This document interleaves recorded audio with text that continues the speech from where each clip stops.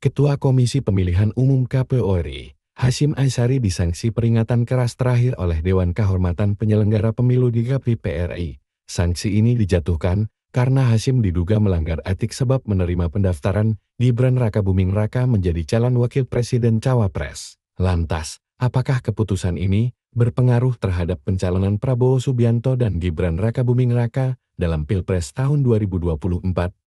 Direktur Pusat Studi Konstitusi PUSAK Universitas Andalas, Ferry Amsari saat dikonfirmasi pada Senin, memberikan jawaban. Menurutnya, Hasim bisa dipecat sebagai ketua KPU.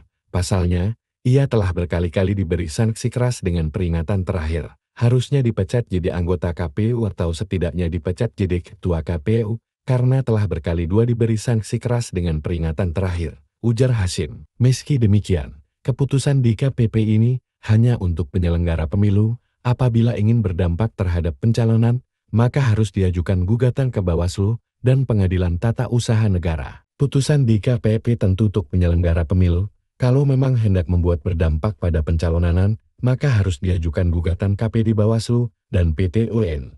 Tambahnya diketahui, Sanksi terhadap Hasim dibacakan Ketua DKP PRE Hedi Lugito dalam ruang sidang di kantor DKP PRE, Jakarta Pusat, Senin. Tak hanya Hasim, ada enam anggota KPU yang turut diberi sanksi, mereka ialah Yulianto Sudrajat, August Melas, Betty Epsilon Idrus, Idham Holik, Muhammad Afifuddin, dan Parsadaan Harahap. Baik Hasim dan anggotanya terbukti melakukan pelanggaran etik karena memproses Gibran Raka Buming Raka sebagai calon wakil presiden.